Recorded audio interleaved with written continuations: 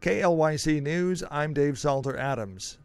The McMinnville Economic Development Partnership has a new interim executive director. Doug Montgomery will be stepping in immediately as the interim to replace Jody Christensen, who was with that organization since its inception. Christensen recently announcing her departure to accept a state job on Governor Brown's staff as the Mid Valley Regional Solutions Coordinator. Jody's last day on the job will be December 28th.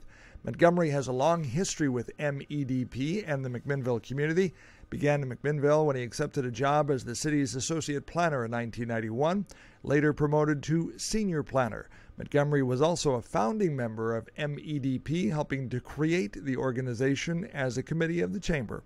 Again, repeating, Doug Montgomery will be the new interim executive director of the McMinnville Economic Development Partnership, replacing Jody Christensen. I'm Dave Salter Adams, KLYC News.